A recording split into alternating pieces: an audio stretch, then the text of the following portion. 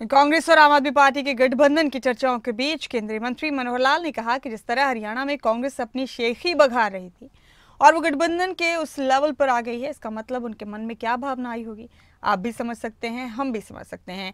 जमीनी स्तर पर कांग्रेस कहीं भी नज़र नहीं आ रही, कांग्रेस अपनी हार मान चुकी है। जिस प्रकार से कांग्रेस अपनी शेखी बघार रही थी और वो गठबंधन के उस लेवल पर आ गई है, इसका मतलब ये है कि उनके मन में क्या भावना आई होगी? आप भी समझ सकते हैं, मैं भी समझ सकता हूँ।